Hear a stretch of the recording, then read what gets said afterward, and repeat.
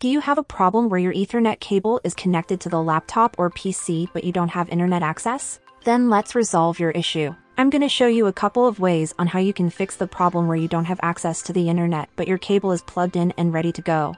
Make sure to watch this video until the very end because I have a couple of different solutions for you, so if one method doesn't work and doesn't solve your problem, the others will. The first method is to go to the search bar and type settings. Now go to Network and Internet. Ethernet. Then double-click on the network right here. Now set this to private and disable the set as metered connection. The second method is to go to our control panel. Click on the network and internet settings right here. Then network and sharing center.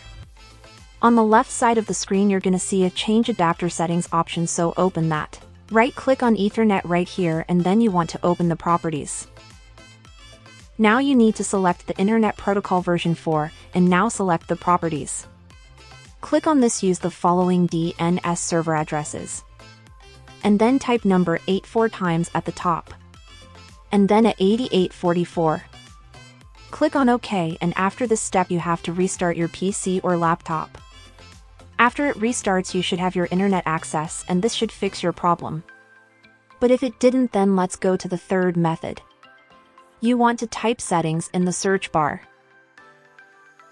Then click on Update and Security right here. Now troubleshoot. Find a button called Additional Troubleshooters. Then Internet Connections at the very top. And run the troubleshooter.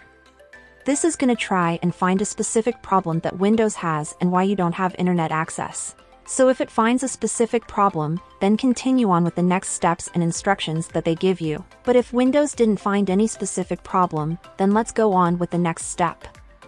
Let's go to our settings once again, then open the network and internet option right here. Scroll to the bottom until you can see the network reset button and click on it. Then you want to tap on reset now and after this step you need to restart your PC. The fifth method is to open the device manager.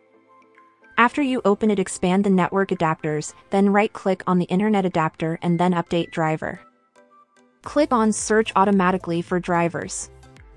And if you had outdated drivers, then updating the drivers should fix the problem and you should have internet access now. So go and check out if you solved your problem. But if you didn't, then open the device manager once again, and then expand the network adapters. Right-click on the network adapter and click on Uninstall.